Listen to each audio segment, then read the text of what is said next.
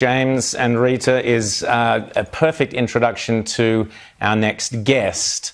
Now, last Wednesday afternoon, the West Australian Liberal Party candidate, Andrea Tokaji, was out campaigning in the Perth seat of Baldivis for the upcoming state election in March when she got a phone call out of the blue. It shattered her life. Andrea was born in communist Romania under the mad dictatorship of Ceausescu. Her parents immigrated here, and Andrea's first taste of Australia was the Villawood Detention Centre. But she and her parents didn't mind. It was worth every hardship to have escaped a land like Romania, where the party decided what you were allowed to think. And of course, the only way to become a member of the party was to never dare question anything.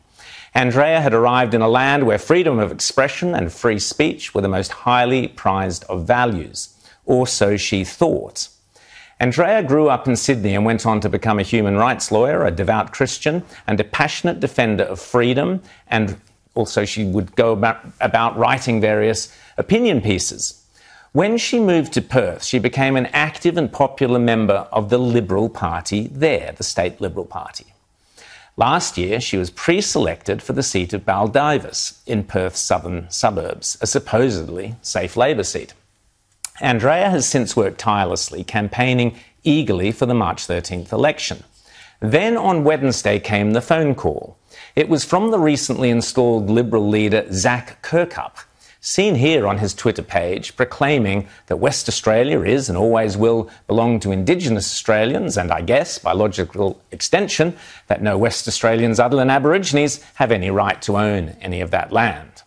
Perhaps wealthy West Australian Liberal Party donors might like to ponder what Mr Kirkup's stance means for their property portfolios should he become Premier in the March election.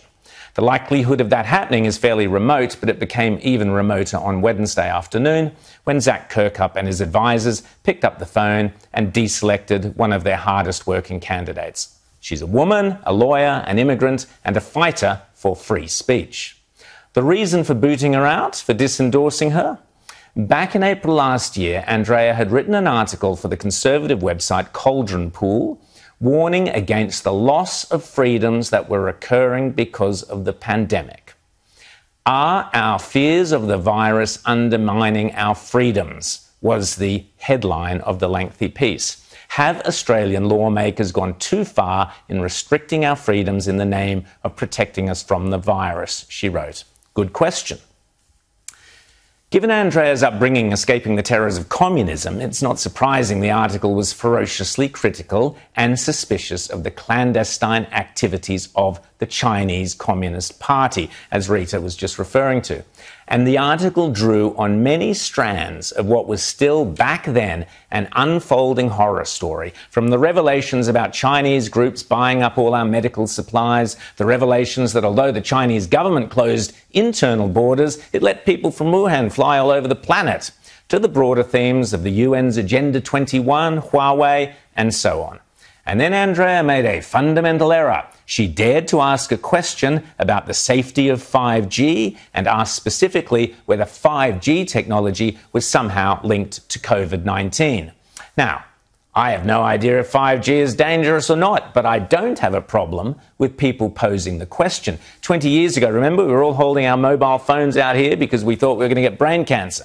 But what I do know is dangerous is when a so called liberal party, based on principles of individualism and the scientific method of skepticism, goes around digging up obscure comments or words from the past and punishing loyal, hard-working people for daring to ask politically incorrect questions and then casting them out without giving them the chance to explain themselves. That is dangerous. That is cancel culture. That is how socialists and collectives, collectivists behave, not genuine liberals. Somebody brought the offending paragraphs to, the, to their attention, and the bedwetters within Zac, Zac Kirkup's office and the opposition leader himself panicked and dropped Andrea like a bowl of Wuhan bat soup.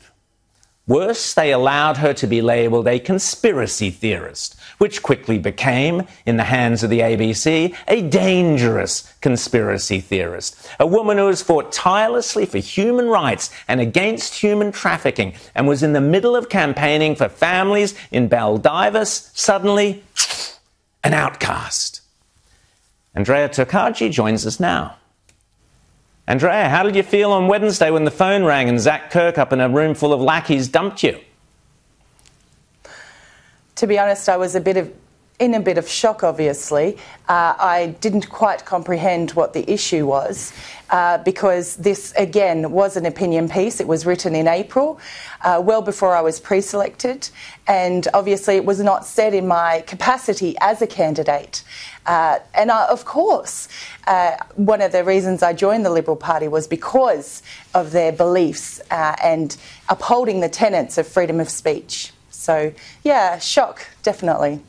I believe you have an exclusive announcement to make here this morning on Outsiders. Andrea? So this morning, I'd, I'd, like to announce that, uh, given the circumstances, um, this is not what I planned at all, but uh, I will make the best of it, and I will not stop fighting for families in Baldivis. I will not stop fighting for freedom of speech, and on that, I will be running as an independent candidate for the seat of Baldivis this state election in Western Australia. Rita. Look, I understand that this piece you wrote was 3,000 words and, and, and a lot of it was from the heart, but I've got to take you to task about, you know, whether you're posing the question or whether you're making the claim, connecting 5G with COVID is just in conspiracy theory area and, and it, it discredits the rest of what you say. Have you changed your mind about that or do you still think there is some sort of a connection there? Oh, look, we can always second guess ourselves when we have opinions um, that uh, the facts are still unfolding before our eyes. The fact is, in April, every reasonable person had so many questions on their minds. And of course, the heart of the piece was about the encroachment of government regulations on our freedoms and rights of movement and, and freedom of association as well. So, really, the question was posed because uh, the, there was a lot of information out there about it at the time. And so I thought incumbent uh, upon myself and community to have this conversation and uh, obviously that's what I was trying to do. But you don't think that actually cheapens what you say? Because there were so many good arguments to be had about people's liberties and rights being decimated during this pandemic and the, the lockdowns and, and the consequences of that. There were a lot of good arguments against that, and, and you made some of them. But then when you bring in 5G and uh, ideas about radiation destroying um, human immunity. Uh, don't you think that actually discredits the rest of it? I know it could have just been one or two paragraphs out of a 3,000 word piece, but that's yes. what people are going to focus on.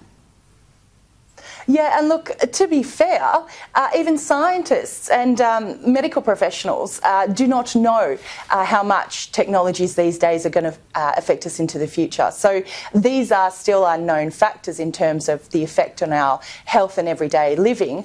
Uh, you're but right, but yes, it's not connected to COVID. There's not connected to COVID. I mean, yeah, you're right. We don't know the full impact of, of technology, but yeah. there's no suggestion that there's a connection between 5G rollout and the incidence of COVID. Can, James.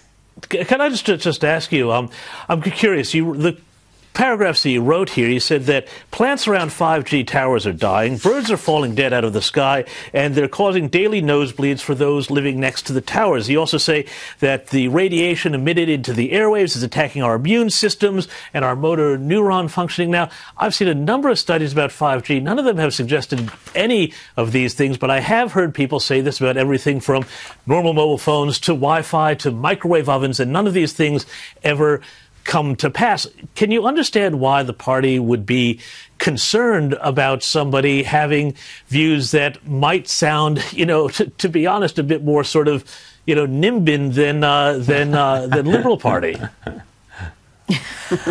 Sure, I take your point. Uh, but the fact remains that there was no due process uh, in this whole saga. So the question was not posed to me do I still hold those views? Uh, Do you? You know, there was mm. no conversation about that. And the, I was justice endorsed. And do you still hold those views, though? That, well, I don't think I ever held those views. I was posing the question uh, because there was information out there about it. So it's not it's not about whether I held those views or not. It's about the freedom to ask the question, and that's what I was trying to do in the piece. I couldn't formulate, to be honest. I'm not in a position to actually formulate a, uh, an opinion on that because I'm not a scientist. I'm not a medical professional. Uh, but I thought it's incumbent upon community, society as a whole, in that moment, in April, to ask the question at least. So I'm not a medical or scientific professional to be able to come to that conclusion. But there was no due process. Uh, my name and reputation was defamed uh, in the process of this folding, unfolding. And of course, uh, it appears that the Liberal Party have chosen not to stand up for freedom of speech in the process.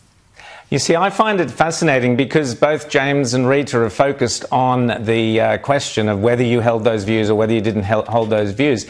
Which, to be uh, fair to you, Andrea, uh, I think both Rita and James, uh, as journalists, are absolutely uh, in, within their rights to ask that question. But equally, I don't really see how it's so critical that one paragraph from, uh, you know, how nearly a year ago uh, is gets in the way of everything else you have done. You're a human rights activist. You have campaign against, or you work to stop human trafficking. Tell us the things about you that uh, you think the electorates about the elect, the voters in Baldivis would be voting for. For the last 20 years, I have advocated for vulnerable people. So that includes young people with mental health issues, uh, those with disabilities. And then I shifted my career from that kind of therapy, therapeutic uh, um, youth work to um, legal human rights. So, in that space, I advocated for those who've been trafficked in the Australasia region, those exploited, making parliamentary submissions and becoming a lobbyist. I, you know, during that time worked for the Attorney General as a lawyer. Uh, I also worked with refugees in detention centres uh, on Christmas Island and other places. So, it is very sad that all of my work has been discredited because of one sentence, one question that I've asked. And I hope that people out there understand uh, that my intention, my heart is to ask the tough questions. And if I am elected, I, you will be assured that I am a politician, a parliamentarian who is not afraid to ask the hard questions, who's not afraid to track down the truth and a seeker of truth and to uh, pursue the truth as well. Because unfortunately, I think in our society, we've uh, compromised on um, seeking the truth because we just listen to the um, headlines, you know what I mean, instead of digging a bit deeper. Rita? Um, look, I, I take what you're saying, and I'm not in any way questioning all the great work you've done up to this point. point, and I acknowledge that the left give a bit more latitude to their candidates to stuff up. I mean, Linda Burney got up in Parliament and I think said that Indigenous people were considered flora and fauna, which is an absolute falsehood that she should have been aware of. But, you know, that's not brought up to discredit everything else she has said since then. But I think conservatives like to hold themselves up to a high standard. So even if you've got all this positivity that you're bringing, all these good questions you're, you're posing, if you start playing in, in, in areas of conspiracy, um, then that's going to uh, to scare people. Uh, and I, am just um, I'm just but yeah, Rita, I'm, I'm, I'm a little bit accept, concerned. Don't you, don't you, accept the point, Rita, that this label of conspiracy, they do it to Craig Kelly the whole time, they do it to me the whole time, oh, a conspiracy theorist, simply because you ask an awkward or uncomfortable question. And that label is used. The left use these labels, and uh, Andreas from right. Romania, uh, you know, Ceausescu, all that lot, they use these labels, and those labels stick like glue. Uh, James, you're sighing heavily there, so give us your well, thoughts. I just am just wondering, you know, and I hate to talk about the party, but it would seem to me that you know, yes, that people have free speech, but the party also has a right to go into an election deciding who is going to be representing it. And I and I'm just wondering if you understand why they would be concerned at a higher level, whatever anybody thinks about Zac Kirkup and his um and his leadership that a candidate who comes out and starts saying things about 5G causing nosebleeds and a lot of other stuff that is fairly out there, let's just call it that, um, is going to be a distraction for the party as they try and defeat the McGowan government, and that there is maybe a, a higher cause here that uh, that perhaps you know needs to be kept in mind. Sounding, just... sounding like a party operative there, James. very quickly, Andrea, your response. Then Let's we've got to leave be it. Very clear. Let's be very clear here. I did not say these things in my capacity as a candidate for the Liberal Party. I said them uh, as a free citizen and I posed a question. I made no uh, definitive claims. So there's a huge difference there. Once you're endorsed by the party, you toe the party line. You come under their principles, policies, announcements, and you go with it. And that's what you stand for. And that's what I did relentlessly for the last five months during my campaign with the Liberal Party. Party. Not once did I bring up anything controversial because I understood how the game is played, and yet I was still persecuted. Andrea Tokaji, it's up to the voters of Baldivis next. On March 13th, we look forward to seeing what happens. Thanks so much for coming on Outsiders today. Thank you. Coming up, snow in the Sahara. Must be ice.